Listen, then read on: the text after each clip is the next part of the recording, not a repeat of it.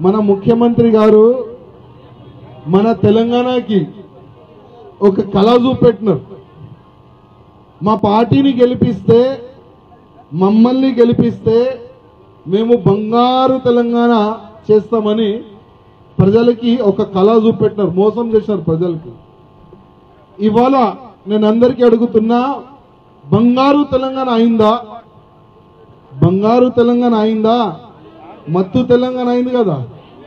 ఎక్కడ చూస్తే అక్కడ వైన్స్లు ఎక్కడ చూస్తే అక్కడ బార్లు ఎక్కడ చూస్తే అక్కడ వైన్స్ పక్కన చిన్న చిన్న రూమ్లు కట్టి ఆ వైన్స్లు టైము బంద్ అయిన తర్వాత ఆ చిన్న రూమ్లో కూడా స్టార్ట్ అంటే ఒక్క కౌంటర్ పైన టెన్ రూపీస్ ఇస్తే పక్కనే మీకు దొరుకుతుంది. ముఖ్యమంత్రి గారు పక్క రాష్ట్రంలో చాలా పోతారు మన ఆంధ్రప్రదేశ్కి. అక్కడ పోతే పెద్ద పెద్ద బాంబులు వేసి వస్తారు ముఖ్యమంత్రి గారు. రాయలసీమకి రత్లాన రత్లాన సీమ చేస్తామని అక్కడ కూడా ప్రజలకి మోసం చేసి ముఖ్యమంత్రి గారు వస్తున్నారు. కానీ పక్క రాష్ట్రం వాళ్ళు ఏ విధంగా ఈ మద్యము ఏ విధంగా వాళ్ళు తగ్గుతున్నారు ఏ విధంగా దానికి కంట్రోల్ రావాలని వాళ్ళు ఏ విధంగా ప్లాన్ చేస్తున్నారు. కానీ మన ముఖ్యమంత్రి గారు ఒక్క సెకండ్ కూడా ఈ మద్యం పైన ఆలోచన చేస్తలేరు మాట్లాడతలేరు. ఇవాళ మనం చూస్తే టూ థౌజండ్ ఫోర్టీన్ నుంచి టూ థౌజండ్ నైన్టీన్ వరకు మన తెలంగాణలో డ్రంకింగ్ డ్రైవ్ కేసులు ఎన్ని తెలుసా? One lakh twenty thousand one lakh twenty thousand ఇన్ని కేసులు అవుతున్నాయి. దాంట్లో ఇరవై వేల మందికి జైలు కూడా పంపించేసినారు. అక్కడ వైన్స్ ఉంటుంది దాని పక్కనే మళ్ళా మన పోలీసు వాళ్ళు ఉంటారు. తక్కువని వేసుకుంటారు చాలని కొడతారు లేకపోతే జైలుకి పంపిస్తారు. అంటే ప్రజలు సేఫ్ ఉండాలి ఆ ఆలోచన లేదు ప్రభుత్వంకి. కానీ ప్రజల నుంచి డబ్బులు రావాలి ఆ డబ్బుల నుంచే తెలంగాణ నడవాలి అదే ఆలోచన తెలంగాణ ప్రభుత్వంకి.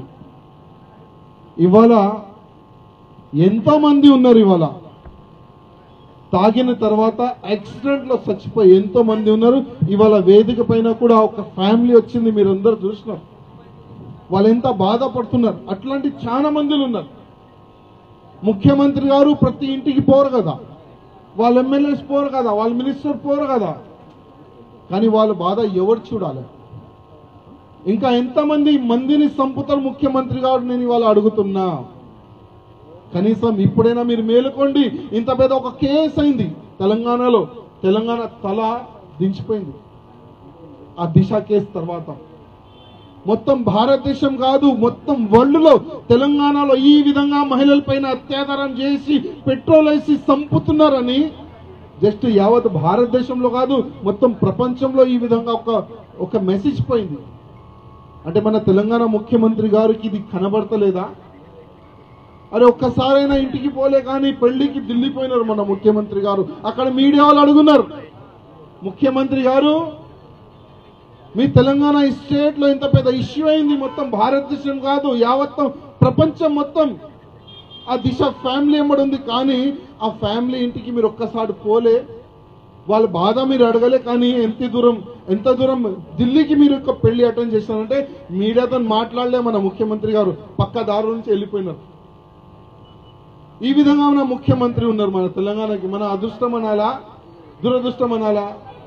అది మీరు చూడండి. తెలంగాణ ప్రజలు దీనికి అర్థం చేసుకోవాలి. ఇవాళ ఒక దిశ కేసు అయింది. ఇంకో దిశ కేసు కాదు అని మీరు గ్యారంటీ ఇస్తారా? మీరు గ్యారంటీ ఇస్తారా? మీరు ముఖ్యమంత్రి గారు ఒక్కటొక్క మాట ఇవాళ మా మహిళా మోర్చలు ఒక సంకల్పం తీసుకొని ముందుకెళ్తున్నారు. ఎట్టి పరిస్థితిలో ఈ మద్యం బంద్ కావాలి తెలంగాణలో. నేను తెలంగాణ ప్రజలకి నేను రిక్వెస్ట్ చేస్తున్నా. ఇది బీజేపీ వర్షన్ అనుకోకండి. ఇది ప్రజల వర్షన్ ప్రజలు చెప్పిన మాటలు.